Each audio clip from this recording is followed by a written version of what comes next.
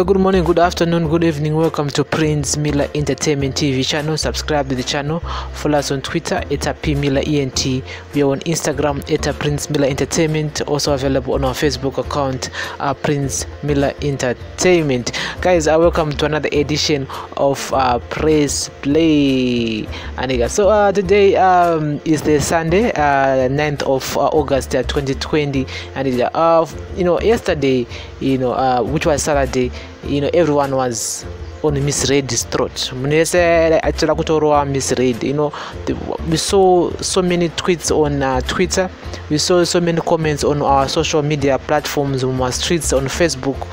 Everyone was attacking misread because of the interview akaita ne-radio station in ghana which was which was online. They did uh, you know one on one online. Miss red vakati trade on uh, social media. Is not what it's is not what is really happening in uh, in zimbabwe you know. And uh, most of these people vari ku you know vari kupusha their own agenda are the people who are in in the diaspora. Vanhu vakatongobvawo kuzimbabwe vane zvaka you know zvakabvira vane mareasons avo you know. So people didn't like it. People came at her you know and um, one of the shocking things that i've seen on social media is zanpf um, a former zanpf i, I think he's a, he's a former zanpf uh, youth secretary. His name is uh, louis matutu. And it, I, I know most of you have seen the pictures uh, circul uh, circulating mumastreets um zvichinzi misread vano you know vano vanorara nemazanupf big wigs. I've seen it being circulating and uh, the, and uh, uh, these pictures haana uh, face. So it's just a wig. Yemusikana akagara pamakumbo alouis matutu.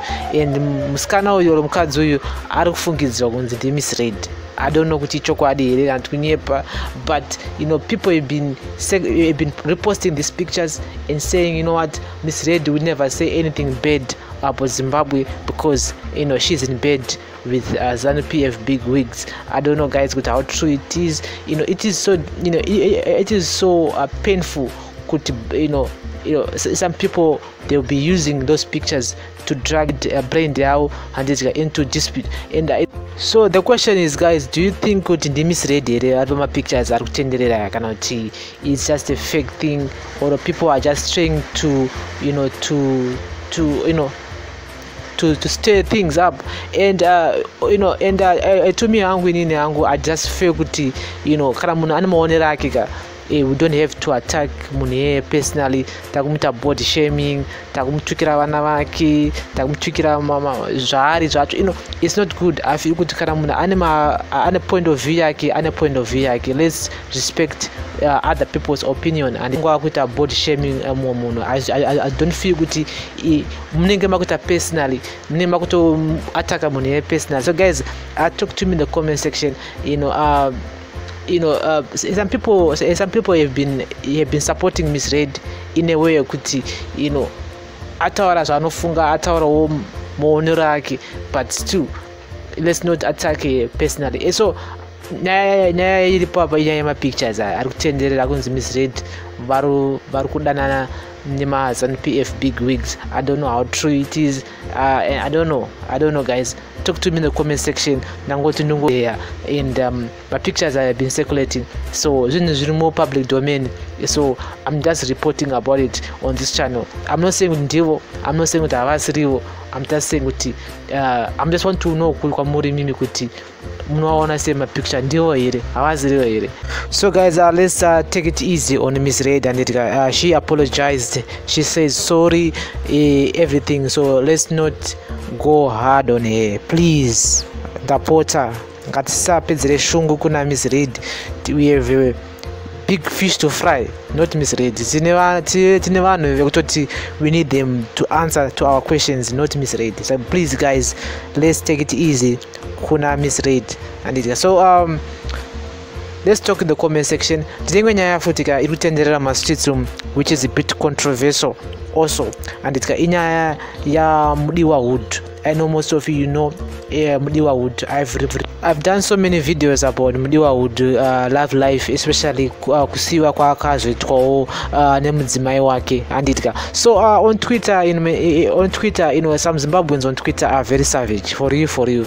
On twitter pane vanhu vekutoti vanenge vakangogarira kuda ngokanda zvimwe zvinhu zvisingaiti so there's uh, this a gentleman who, said uh, who did say to, uh, to mudiwa uh, your wife uh, cheated on you when she was pregnant. I mean munhu munhu akaita sei anotaura those kind of things. On guys this is not cool. Hazvinambonaka and you don't joke about this kind of things. Anditika please please mazimbabweans anditika tiri vanhu vari you know tiri vanhu vanhu vari bo tiri vanhu vari peaceful. Tiri vanhu vanoremekedza vamwe vanhu handiti especially marelationships hazvinei kuti relationship yakapera kana kuti ichiripo. Lets respect each other. Handitika when iwewe wakagara ekumba kwako then you decide kutaipa zvinhu zvakadaro patwitter. Kuda malikes here kuda matweets here kuda mafollowers here mana don't do this. I mean this is not cool. This is bad. I don't support it. I just feel kuti whoever wrote that tweet anditi mwari ngave newe this is not cool guys. Uh, let's talk in the comment section. This is another edition of press play. Ngatitambe zvakanaka mumastreets um especially on twitter.